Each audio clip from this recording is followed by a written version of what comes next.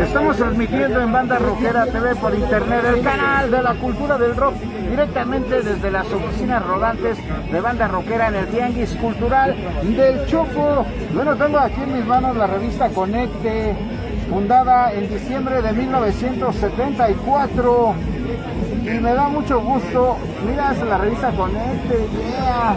me da mucho gusto tener un personaje que, híjoles, pues tiene mucho en esto de la cultura del rock y tiene muchas facetas. Él es Fabián de los Santos Castro, yeah, yeah. me da gusto.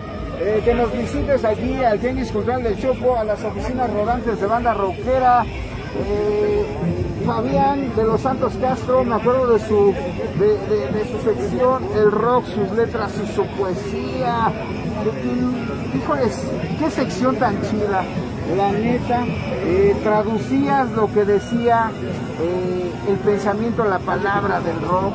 Y creo que por ahí incluso sacaste un libro rock de ello y yo lo tengo. Y bueno, ahorita te tengo aquí también, ¿verdad? Que escribiste durante muchos años. ¿Cuándo entraste a Conecte, Fabián? como mitad do- de 1975. Tú entraste en el 75. En, el- en la primavera del invierno anterior y la primavera del 75. Un año después, después de, de formado. meses, meses, Meses seis, siete después. meses después de... Sí, sí, sí, porque fue en diciembre del 74 cuando nació, entonces prácticamente llegó el 75. Pero bueno, preséntate primero, Fabián, con la pandilla que nos ve directamente en varias partes del mundo y obviamente de la República Mexicana. Yo soy Fabián de los Santos, eh, gracias a Dios me titulé y a mis padres de abogado, soy escritor, también soy músico y estoy un poco loco como pues, la- todo el personal rockero, ¿no? ¡Yeah! La verdad me da mu- muchísimo gusto tenerte aquí con nosotros y le voy a dar un aplauso, Fabián. Aplausos que, que estás con nosotros, Fabián. Y bueno, para tu biografía, dime la fecha de tu nacimiento y dónde naciste, Fabián. Yo nací con la luna de plata, no, esa es de la piscina, yo nací en 1956, aquí en el Distrito Federal. Soy, soy Día, chilango. ¿Qué día? El 17 de abril del 56, El 17 de abril del 56. a las 10 de la noche. A las 10 de la noche. Yeah, muchísimo gusto saberlo. Mi madrina que cuando me fueron a ver al cunero tenía los ojos así. Como diciendo, ¿a dónde, a dónde chingados me trajeron, no, cabrón? Y sí se Fabián. resultó ser un circo de locos, Sí, por supuesto. ¿Cuándo, cuándo inicias tu carrera como, como periodista, como escritor? Pues fue este, gracias a Dios y a, y a Arturo Castelazo.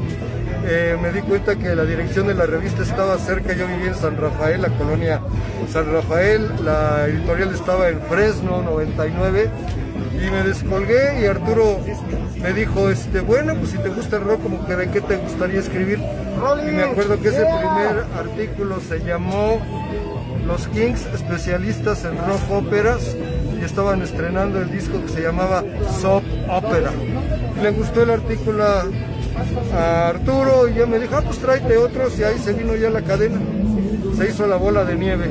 Oye, esa película ya la vi. Ya la vi conmigo mismo porque yo llegué un día a las oficinas de la revista Conecte y conocí a mi abuelo adoptivo, el maestro Vladimir Hernández. Y bueno, también fue así, un poquito así como está platicando Fabián. Ahí en las oficinas conocí a Vladimir y dice, estoy preparando una revista, una revista de rock mexicano. Y era la banda rockera, era. Y Fabián ahorita me hace recordar eso. Oye, excelente Fabián. ¿Escribiste en algunos otros medios, Fabián? Sí, también para Vladimir me invitó cuando salió su proyecto. La banda rockera, Este, yeah. También este hombre Palacios hizo otro que se llamaba Acústica. Eh, también todos los proyectos especiales de Víctor Manuel La Torre. ¿sí? Luego cuando se independizó Castelazo, sus especiales de guitarra, un montón de medios. Rockmanía también. Hasta en la revista Claudia llegué a colaborar. Hasta la revista Claudia. ¿Por qué lo dejaste, Fabián? Eh, pues ya me contrataron en el tribunal ya los tiempos eran muy difíciles para eh, la colaboración, ¿no? Ya ejercías tu carrera de abogado. Sí, eran muy esclavizantes ese tipo de carreras y los horarios son muy exigentes. Entonces, pues, yeah. Y esta, esta, esta, entrevista es a mil por hora. Estimado Fabián, ¿y cuándo, cuándo decides involucrarte? Porque me trae este disco nada más y nada menos. Miren, yeah. hoy vamos a hablar de ello, de este disco, pero también de Maquerodo, otra banda que él tenía. Fabián, dime, dime, ¿cuándo decides involucrarte en la música profesionalmente? Fue un proyecto garajero, como por el 1979. ¿En el 79? Eh, que dije, bueno, pues, porque no, no había podido yo aprender a tocar la guitarra, pero me, me aboqué un poco más y algún compañero también músico me pasó, César Etienne, un gran amigo también músico, se hizo músico profesional y me pasó unos ejercicios de digitación y de ahí me solté. Eh, yo quería ser nada más que el, el, cantante, pero faltaba el bajista para Maquerodo y pues me metí al bajo y a las vocales y de aquí pues ahora ya he llegado a este toco teclado, guitarra, batería, bajo, disque canto, etcétera, ¿no? Sí, Fabián, me estoy saltando algo y no quiero saltarme porque yo era fan de tu sección, del rock, sus letras y su poesía. Dime cómo nació esta sección, por qué nace, quién te dijo que naciera o cuáles fueron los motivos. Pues porque... Legendaria sección de la revista Conecte, para los que no saben, por cierto. En esa, en esa época, hizo el libro, perdón. La, la, la, banda no tenía mucho dominio del inglés y a mí desde chavito se me, se me facilitó me metieron al Instituto Anglo-Mexicano de Cultura, estaba aquí en Antonio Casa, no sé si continúe, y dije, bueno, pues ¿por qué no, no traducimos estas grandes obras literarias del rock eh, al español para que la gente las conozca, conozca el mensaje de las mismas, y gracias a Dios tuvo mucho éxito. Hice, hice dos libros bajo ese título, volumen 1 y volumen 2. Yo nomás tengo uno, me falta el otro. volumen 1 y volumen 2. Yeah, y que fueron un éxito también. Sí. Ahora sí, vamos al, a mil por hora en este viaje por, por años, por el recuerdo, por todo. Bueno, eh, ¿cuáles son los grupos que has formado, Fabián? Me acuerdo de Maquerodo. ¿Cuál, cuál fue el primero, digámoslo así? El primero fue en la prepa, que se llamaba Pantano Blues. Pantano Blues. La preparatoria 9 y luego derivó en el tren al infierno, y luego ya vino Maquerodo, y luego estuve en la ciudad humeante, ya después, ahora recientemente, que gracias a Dios me pude pensionar en el la abogacía y eso, pues me volví a abocar a hacer un proyecto musical, ahora son The Fab Cats o Los Gatos Fabulosos. Los gatos fabulosos, la fiesta retro. Sí, como esa entrevista se antoja así, muy retro, la neta. Sí, sí. Y bueno, hay mucho que charlar con, con Fabián. Eh, yo le dejo el disco para la periodista Gaby Gascón que me acompaña en esta entrevista. Pero yo quiero invitarte al programa Banda Rockera, Prensa, Radio y TV desde la redacción, eh, que transmite todos los lunes a las 5 de la tarde. Pero estamos dos horas y media ahí en el programa. Fabián, ¿quieres ir el lunes 2 de agosto? ¿O quieres ir eh, eh, el, lunes, el lunes 9 de agosto? Agéndame para el 2. ¿Puedo llevar uno o dos muchachones del proyecto? Claro, nada más que eh, por el, bueno, ya te, ya te avisaremos, pero yo creo que sí, por supuesto que No sí. todos, porque fueron muchos, Sí, pero digamos claro. los de base. Sí, por supuesto, para continuar esta charla. Claro que sí. ¿Sí? Ok, bien, entonces te tienes mi, Sí, perfecto, te anoto el lunes 2 de agosto. primeramente Dios. Fabián, ya luego le ponemos bien ahí, Fabián de los Santos. Ahí quedó, ya quedó tu entrevista. Vamos a continuar esa charla porque hay muchas cosas que, que platicar con Fabián Claro de los Santos sí. Castro. Yeah, yeah, pero ya quiero que entre en acción mi chica Yeye, la periodista Gabriela Gascón. Yeah, yeah, pero antes de ello, eh, quiero saludar a la pandilla que ya nos está viendo, como Che, Herba Metal. Saludos para el Chivo Rocker, banda rockera por siempre. Yeah, saludos a tus invitados. Sí, sí, por supuesto. No nos dice de dónde nos está escribiendo Vicky Anaya, saludos cordiales Rolly, Gaby y a tus invitados, yeah, Alberto Benítez, saludos mi Rolly Ramírez, chido, también no nos dice de dónde, pero saludos a toda la banda que se está sintonizando con nosotros con esta entrevista con Fabián de los Santos Castro. Y en este momento, pues eh, les quiero presentar nuevamente a Gabriela Gascón, la periodista de Gaby Gascón, de Donia Magazine también. ¿Qué tal uh. chicos? Buenas tardes, pues ya estamos aquí. Vamos a conocer un poquito más de este disco de The Fabcast que se llama La Fiesta Retro. Y ahorita el señor Fabián nos va a platicar todo esto acerca de este disco. Entonces, sí. Sí, el, disco eh, abarca covers en inglés originalmente tengo las producciones fieles a lo que dice el mensaje de cada corte del cover, pero por cuestiones de derechos internacionales no se me autorizó y tuve que hacerlos en inglés, pero son versiones así locas, no son versiones textuales copiadas totalmente de los grandes clásicos, excepto la de Batman Rising que es casi igual, pero las otras están pues muy, muy, muy locochonas, ¿no? Son nueve cortes así en cover, nueve canciones originales, eh, ocho totalmente mías y una en autoría.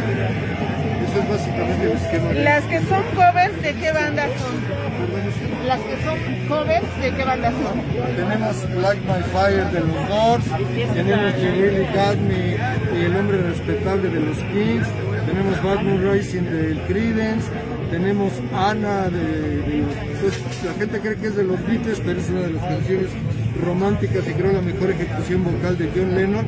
También está aquí Ana Go to Him. Tenemos la de la última vez de los Rolling Stones y eh, el clásico de Henry Mancini, este, Peter Gunn. En fin, para que me acuerde Y ¿cuál es, su aportación ah, perdón, La Casa del Sol Naciente de los Animales y este hay otra por ahí, 16 eh, toneladas. Una de esclavitud. No, pues unas, o sea, eligió las fuertes. Aquí dice las cargadas o recargadas, por aquí le, veo.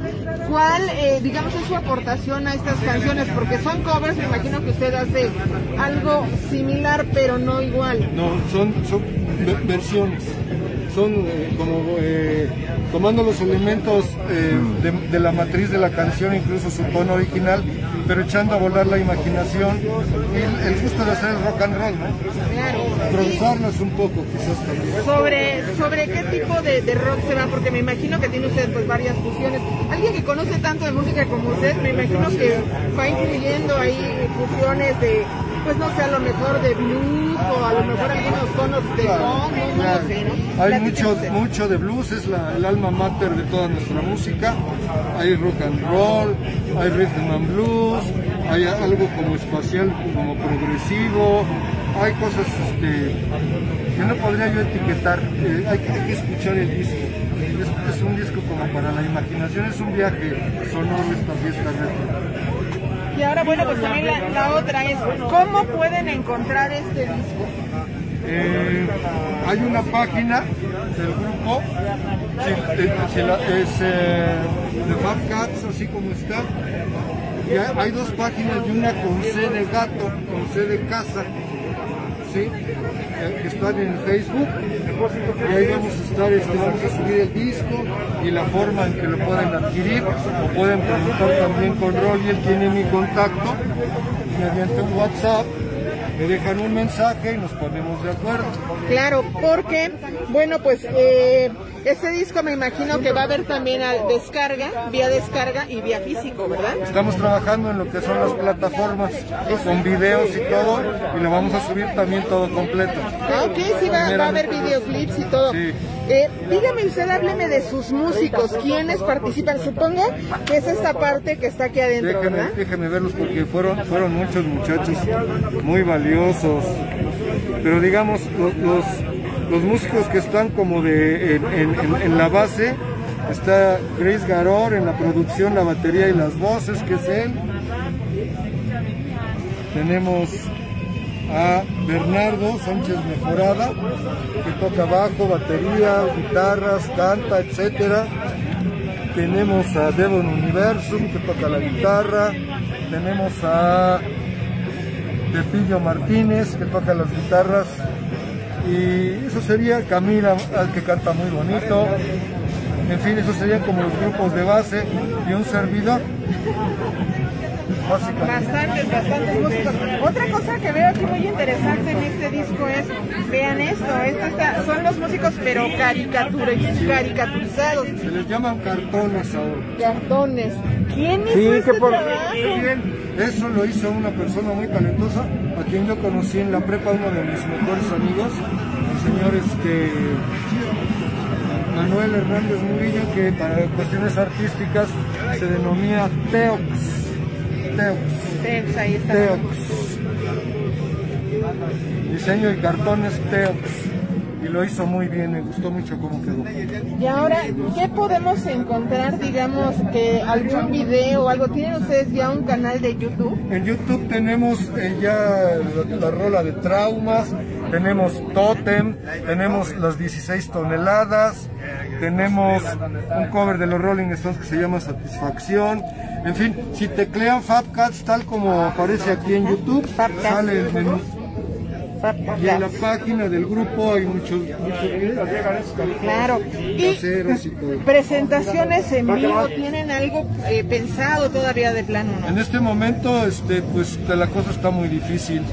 Por la pandemia. ahorita gracias a Dios acabo de salir de COVID Gracias a Dios estoy vivo, una enfermedad tremenda y este, apenas me estoy recuperando, todavía me fatigo mucho. Pero ya estamos ensayando y así poco a poco, primeramente Dios, tomaremos el carril de las... ¿Ya te vacunaste, Fabián? No, todavía no me vacuno. Ahorita tengo inmunidad por cuatro meses aproximadamente. Ve a vacunarte, estimado Fabián. Sí, sí, sí. Qué bueno Súper, súper Me dice el doctor que aproveche mi inmunidad ahorita. Ya cuando baje, entonces ya le entramos a la química. Y bueno, pues a lo mejor también podría ser una presentación bien por la situación, si ustedes quisieran, pues que a lo mejor que la gente fuera conociendo a acá. ¿no? Podría ser, hemos, lo, lo, hemos conversado, pero no lo hemos detallado todavía. Pero está contemplado. De todas maneras, pues aquí a través de su, sobre todo del Facebook, ¿no? Es como van a estar ustedes comunicando lo que va a suceder con este claro que sí. Señor, ¿qué precio tiene este disco? Estamos metiendo en 80 pesos. 80 pesos, súper económico para lo que se puede. Yo sé que les va a gustar Y en cuanto a las composiciones inéditas, a ver, platícanos un poquito sobre los temas, de qué tratan, cómo suenan.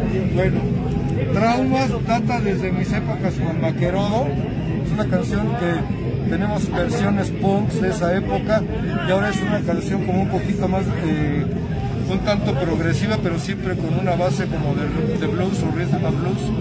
Y habla de todas esas cosas que nos han chocado desde que somos niños y no sabemos por qué tenemos ciertos comportamientos destructivos o adictivos, pues son los traumas que nos dejan, ¿no? la, la vida misma marcan.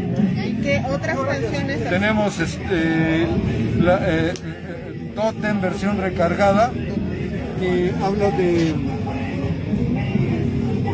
la pureza que había en, el Pleistoceno, en la edad del hielo, eh, y todo lo que hemos perdido. Imagínense tomar un vaso de agua, de esa agua de, del congelamiento de esos glaciares, de esos bosques totalmente vírgenes, de esa agua que nunca había sido contaminada, el oxígeno, las megabestias, todo eso que ahora ya pues, nunca se va a poder recuperar, parece ser. Y eso se antoja que suene como a rock progresivo, ¿no? Tiene algo de rock progresivo. Sí, algunas como, me imagino escenas. Eh, sí, sí, sí, sí. Sí, es como imaginándonos solamente con el progresivo. También colaboró con nosotros el bajista de, de Dangerous Rhythm, de ritmo peligroso, Avi Michel también está en la producción, haciéndolo de una manera muy, muy, muy aseada y muy padre.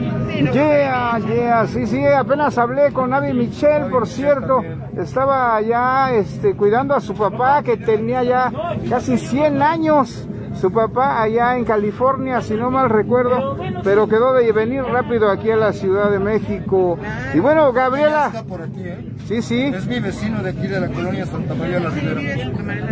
Sí, sí. Vivimos en la misma calle, en Torres Bodet, nada más que un poco alejados. por Sí, por De hecho, supuesto. usted conoció a Lalo Vázquez de parte de su staff, de la gente de Ritmo Peligroso. Conozco mucho de ritmo peligroso, pero parte del staff realmente ahorita no. Es que, bueno, acaban de ir una persona muy cercana de ellos, ayer justamente, Lalo un señor Calvino, Un señor Calvito, exactamente. creo que sí, sí, sí, sí, muy triste. Sí, sí, sí, nosotros lo conocemos. Y bueno, pues muy triste noticia que ayer falleció Lalo. Paz descansa y que esté allá con el cliente pasando la vida. Así es. Gabriela, ¿con qué te despides? Yeah. Pues, eh, diciéndole al señor Fabián de los Santos que nos regale otra vez sus redes sociales para que busquen a los fabulosos gatos de Fab Cats.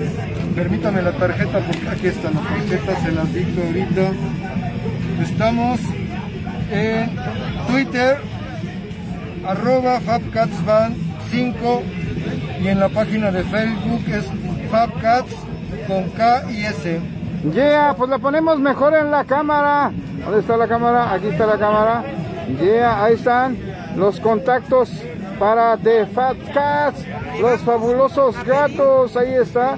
Yeah. Y bueno, yo me despido, me despido, me despido con con estos saludos mientras eh, está firmando ahí. Síguele, sigue firmando eh, Fabián de los Santos. Y bueno, tengo a Humberto Corona, saludos desde Xochimilco. Yeah, Vicky Anaya, hola Gaby.